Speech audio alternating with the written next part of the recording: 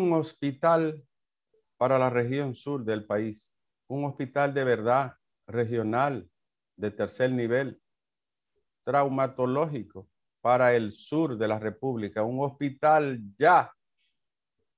Así se inicia el rumbo de la mañana después de la apertura magistral del ingeniero Carlos Peña, analista y comentarista temprano desde las seis y que transmite por Telefuturo, Canal 23 y Rumba 98.5 y para el Cibao y Santiago, Premium 101.1.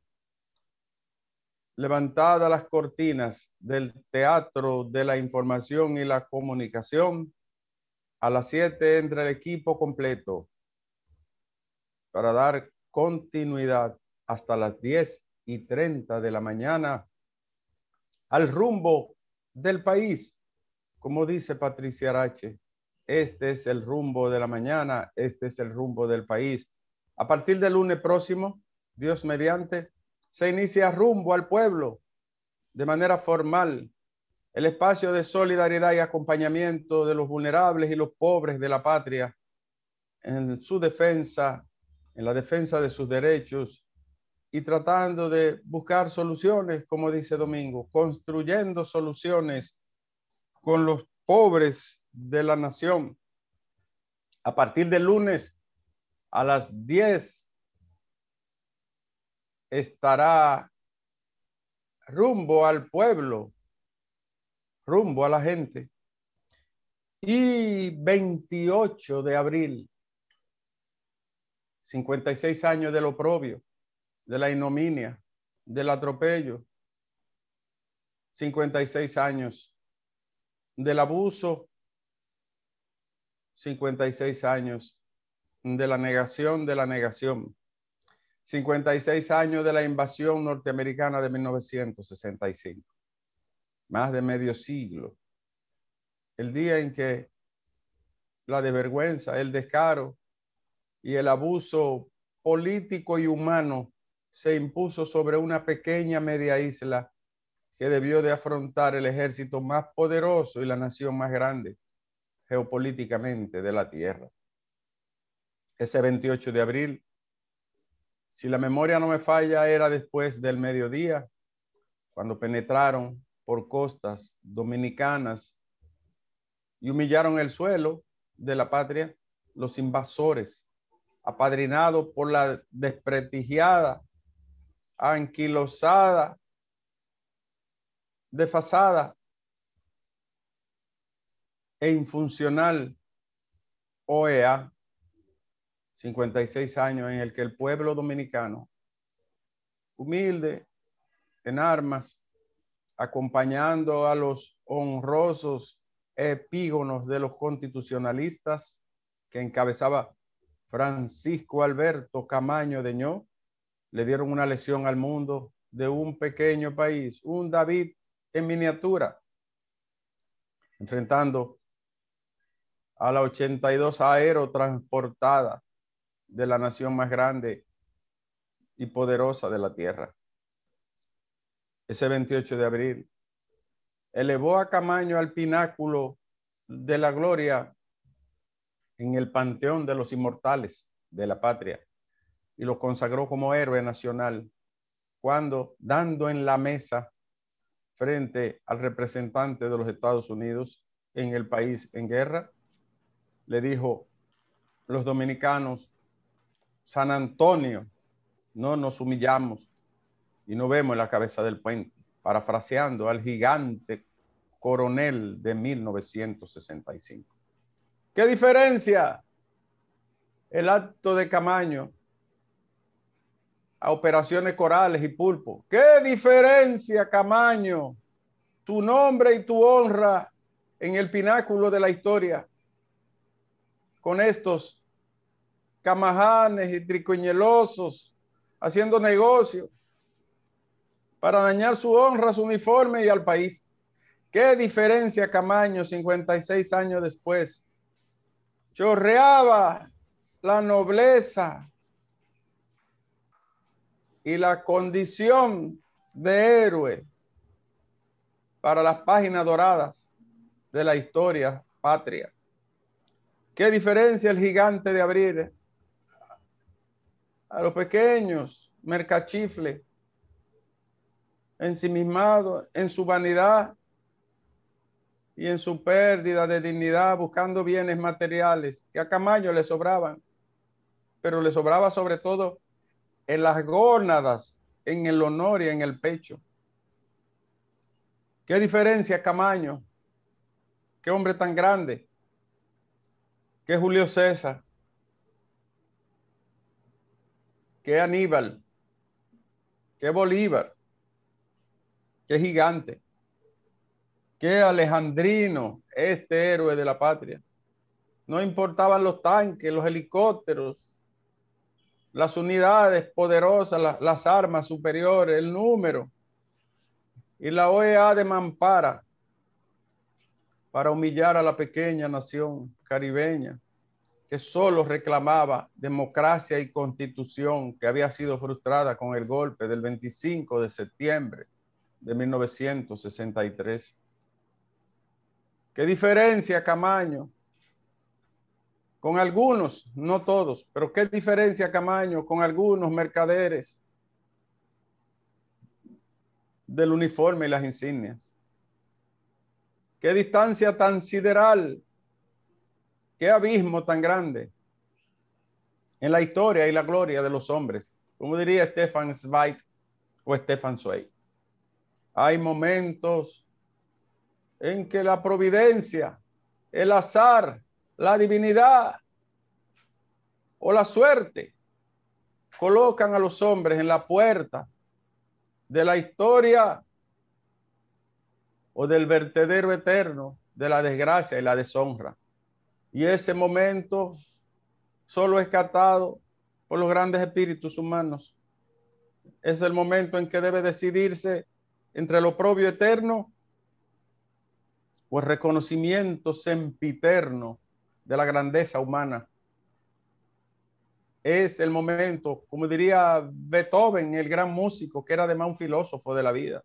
Es el momento en el que el destino toca la puerta de los hombres y solo los gigantes quedan de pie ante los desafíos inconmensurables de los momentos y de las circunstancias.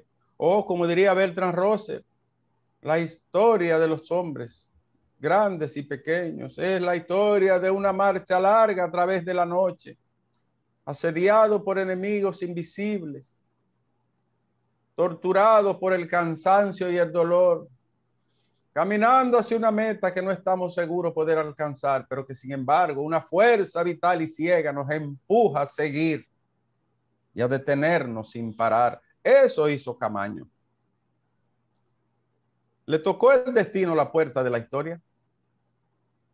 Le tocó el desafío histórico, dialéctico de la vida la puerta a un hombre que tenía un pasado no brillante y que tenía un pasado incluso con algunas manchas,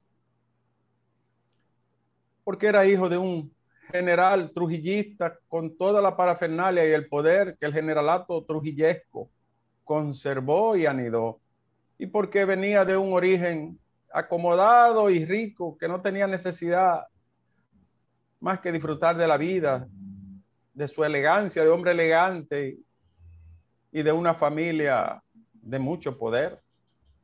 Sin embargo, en esa transacción del momento que debe decidirse entre la honra y el de prestigio histórico, Camaño asumió las puertas doradas de la historia y lo recordamos hoy. Y lo recordamos y su memoria límpida se eleva al firmamento. Cuando los hombres deciden, no importa la suerte que se corra, ampararse en las páginas de oro del libro de la historia. Y eso fue lo que hizo el coronel de Abril. Nos invadieron en 1965 después que el pueblo y los militares constitucionalistas habían ganado la batalla a los traidores de la constitución y de la democracia cuando derrumbaron el gobierno de Juan Bosch. Y una vez que ganaron los constitucionalistas y el pueblo, nos invadieron los yanquis y frustraron el sueño de un regreso de Juan Bosch, un hombre honesto, íntegro, incorruptible a carta cabal, que tenía la, la mejor propuesta de desarrollo de nación para este pequeño país.